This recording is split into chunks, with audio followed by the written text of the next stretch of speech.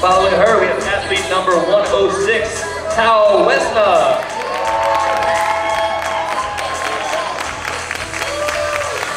See it in three, two, one.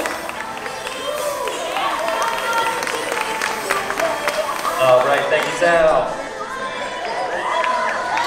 Time to make some room for athlete number 107, Christina Aponte.